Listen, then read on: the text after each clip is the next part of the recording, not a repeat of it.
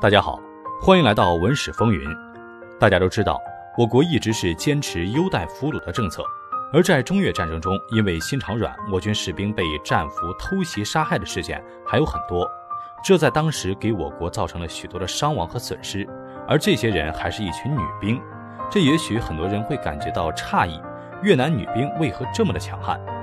大家都知道，女兵必须经过严格的训练才能上战场。因为想要上前线的女兵必须超越普通人的训练，毕竟一旦女兵在战场上被俘，后果是不堪设想的，基本上是很难安全返回的，只能在战场上死去或者被俘折磨。但是女兵有很多优点，与男性士兵相比，女性士兵能够更好的伪装自己，很容易的就能渗透到敌人的内部，还不容易引起敌人的怀疑。这时就有很多越南女兵渗透到我们的军营中，在暗地里攻击和杀害我国士兵。当时这件事可谓是引起了我军很大的愤怒，但是因为之前提到过优待俘虏政策，再加上都是女兵，我军很多人都下不去手。但是现在面临的窘境是，如果我军不枪毙他们，我军的伤亡会更加严重。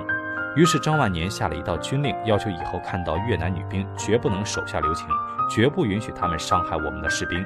虽然这种做法听上去有些无情，但是毕竟是战场。